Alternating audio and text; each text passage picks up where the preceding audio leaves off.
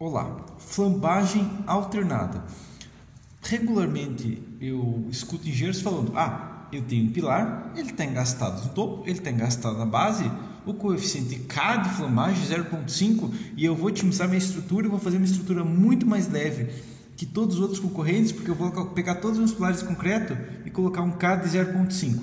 Isso não pode ser feito. Primeiro que a NBR 18 proíbe, mas segundo por quê? Bom, aqui eu tenho uma estrutura que esse pilar aqui está engastado na base, ok? Está engastado na base, está engastado no topo, ok? Tem esse travamento aqui atrás que é só para que a estrutura não tombe para fora do plano, que eu estou analisando, ok? Mas a questão é, aqui em cima ó, eu tenho esse pilar, eu vou pegar ele e vou aplicar uma carga nele, ok? O que aconteceu foi o seguinte, quando o meu pilar flambou, ele flambou o pilar de baixo junto, ok? Essa questão que você tem que entender, tem que aplicar a carga de novo, tá? Isso que depende muito, como você começa a aplicar a carga, pode ter, inclusive dar resultados diferentes. No caso aqui, ó, eu posso aplicar carga e flambar para outro lado.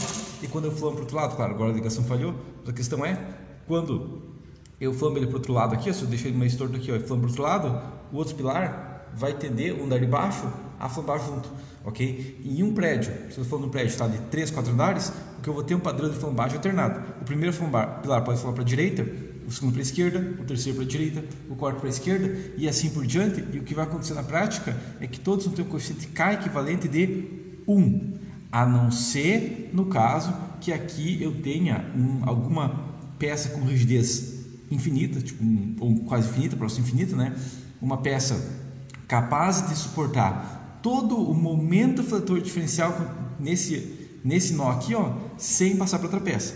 Para isso, eu precisaria calcular o SBR necessário nesse ponto aqui, conforme o BR 8800, e calcular que essa viga aqui consegue transmitir e que tem um SBR adequado ainda nessa região aqui, ó, ok? Então, eu tenho que considerar a capacidade do importe corrigido aqui, uma, uma parede aqui, uh, ligando com a viga aqui, ainda tenha uma força cortante, um SBR e um FBR considerável aqui em 99% dos casos.